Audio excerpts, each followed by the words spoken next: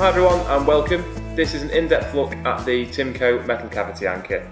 It's a heavy duty anchor for plasterboard and is designed to work in a variety of thicknesses of drywall as well as a variety of different applications. So now we're going to look at some of the key features on the product. It has a combination drive on the head, so this will fit a cross recess or slotted screwdriver. Underneath the head we will see that there's two teeth. This will clamp into the board and stop it from moving around. And then finally here, as we'll see later on in the video, these wings will expand, grip to the back of the board and give it really good improved clamping strength.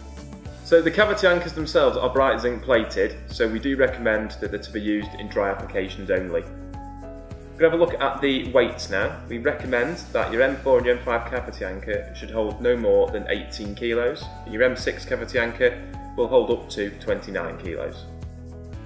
So the Timco metal cavity anchor comes in a variety of different packaging options to suit everybody's needs. First of all, we do the handy tin pack. So these will come in three or four pieces depending on the size of your anchor.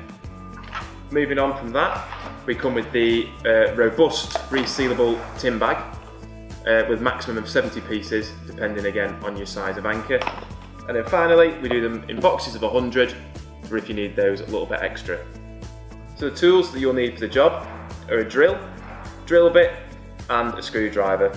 This will help set the anchor and also tighten the screw through your application. We also supply a setting tool, allowing you to set your anchor quickly and easily. Featuring a release trigger to help remove the tool from the screw, this will help save time when you're installing a number of these anchors. In the next part of the video, I'm going to show you how to install the product. I'll be going through standard 12.5mm thick plasterboard, but if you do need more information on a variety of plasterboard thicknesses, please click the link below. So first of all, we need to drill the hole in the plasterboard. I'm using an M5 cavity anchor, so that means we're going to need a 10mm drill bit. The next step is to insert the cavity anchor through the hole. So all you do is pop the head of the anchor into the setting tool Push it through the hole until the anchor itself sits flush. Squeeze it a couple of times until it stops and you feel that resistance. There's a little release trigger there, we press that and it will pull the screw away from the board. Now that's done, unscrew your screw from the anchor there and then all we're going to do is put it through our fixture. And then screw goes in against the fixture like that and then we'll just use our screwdriver to attach it.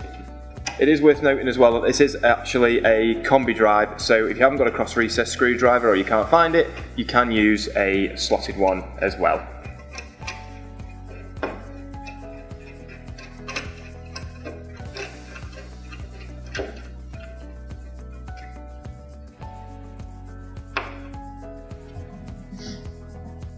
To purchase the cavity anchors or other Timco products, visit our store locator on our website by clicking the link in the description below. As always, don't forget to subscribe to our YouTube channel for more videos and follow us on Facebook, Twitter and LinkedIn for more information and Timco goings on. Thanks very much for watching and I'll see you soon.